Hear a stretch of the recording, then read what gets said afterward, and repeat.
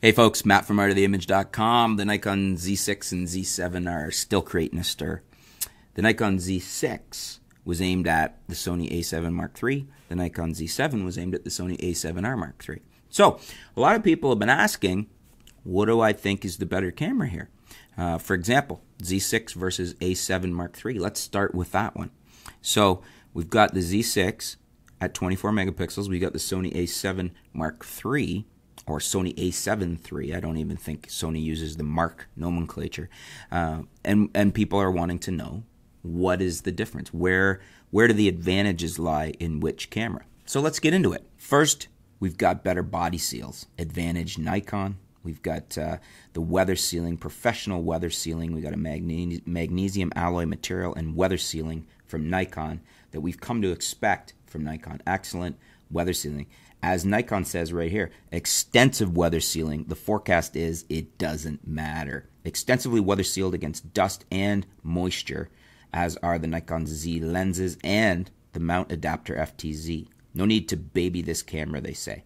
So they say, and they also start by saying, like the D750. So there you go. Weather sealing advantage Nikon. Next up, better EVF. That'd be my number two, I guess. 3.6 million, 3.69 million dots versus 2.35 million dots. So, as Nikon says, a pure viewing experience. Absolutely stunning 3.6 million dot electronic viewfinder with Nikon optics. So, advantage Nikon, as they say, oh, what a view. An ultra high resolution quad VGA display. The third advantage, the third reason to buy the Z6 over the A7 III is a better LCD, 2.1 million dots versus 912, uh, 921,000, 3.2 inch versus 3 inch. So that's a 3.2 inch tilting touchscreen as Nikon says, composed with crystal clarity on the large 2.1 million dot display that tilts for easier high and low shots. I don't know if this is 0.3A or 0.4, I guess it depends on how much weight you want to give it,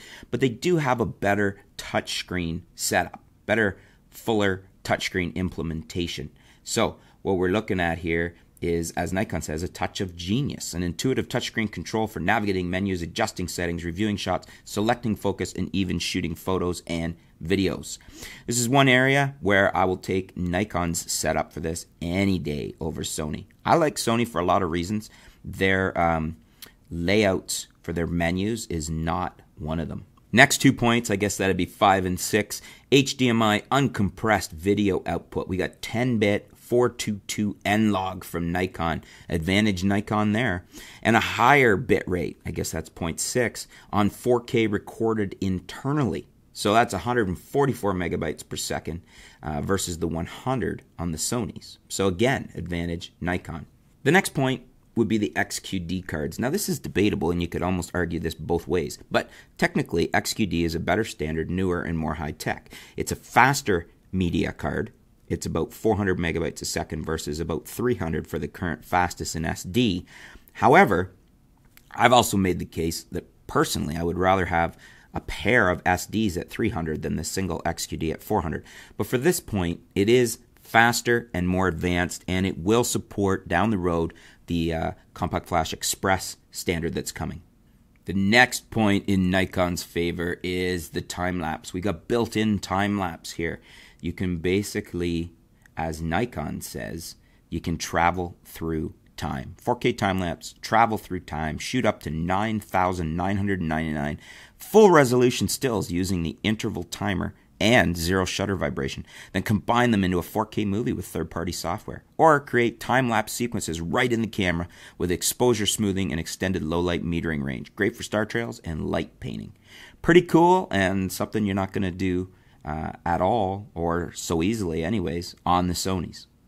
This next point, where I'm going to give Nikon the advantage again, is uh, it's debatable, I guess, uh, but I think the ergonomics and the grip and the uh, just usability of the body, uh, again, back to I guess the word ergonomics, um, is is definitely in favor of the Nikon's. Large, deep grip for balanced handling, uh, comfortable ergonomics, thoughtful button placement, and an easy to use GUI. That's a graphic user interface. Um, and as Nikon says, a mirrorless you can hold. These are uh, a lot of people have had this, this, these complaints against Sony in the sense that um, it's almost like a brick that's made uh, by an electronics company that takes pictures, whereas the Nikon, um, Nikon's been building great ergonomic cameras for years, and they know how to do it. They're built for photographers by photographers. The next point where I don't think anybody is beating them at the moment is, as Nikon says, let there be more light. The new Z mount, the largest full frame mount on any camera system. Now, I guess we technically have to put a little asterisk that that's as of today, as of as of now. Somebody could come along and, and make this uh, obsolete. They could make a bigger one tomorrow. But at the moment, Nikon's got it here. And uh, it's really exciting uh, what they're going to be able to do with this. I mean, we've got the Nikon uh, 58 mil Noct 0.95 lens in the works. And just uh, chew on that number, 0.95 for a minute, and uh, you'll start to see how amazing this Z mount is. Now, those are the main advantages of Nikon. There's a bunch of other ones that aren't uh, necessarily as big, but there's still advantages. Uh, I mean, we've got an external battery charger. It's not really a minor thing. It's a huge pet peeve of mine. It drives me nuts that Sony and a lot of other manufacturers now you have to plug in the camera with a USB cord. Uh, I like to have an external battery charger.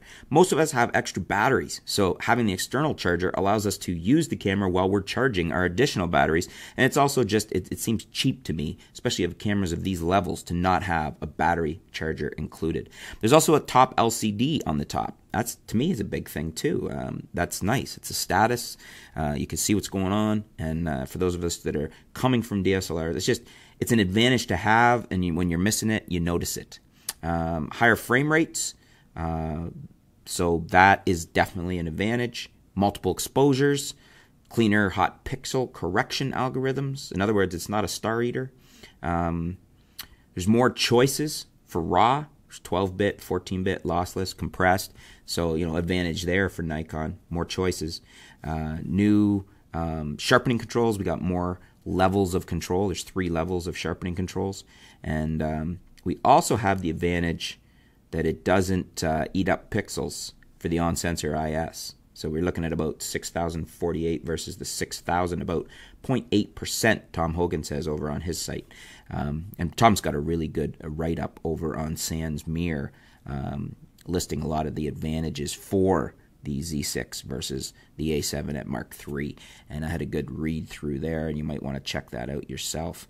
Um, but those are the main advantages for the Z6 as well as a bunch of other what I would say are minor ones or lesser ones. So that's about 20 advantages in total. Uh, probably about eight fairly significant ones, and then a whole slew of other ones that are definitely still advantages, just not as I don't weight them as heavily as the other ones. Why you might want to buy the Z6 over the Sony A7 III. Uh, it's creating quite a stir and a heck of a camera, heck of a lens mount system. Uh, so, um, what do you guys think? Uh, are those reasons why you would buy a Z6 over a Z? Uh, uh I was going to say a Z7, a Z6 over a Sony A7 Mark III, a Sony A7 III? Um, is there something I've left out that you think I should have included? What's the most significant for you? Is there one of those that is uh, the deal killer or the deal clincher for you? Let me know in the comments below. Let's discuss it. The Z6 advantages over the Sony A7 III. Uh, looking forward to hearing what you have to say about it. Again, I'll put a link below. You can check it out. Thom's got a good article there um, listing um, the advantages and disadvantages Sony versus Nikon in the new mirrorless. Uh, so you may want to check that out too. Um, looking forward to hearing your feedback in the comments below. Stay tuned. We'll be back soon here at artoftheimage.com.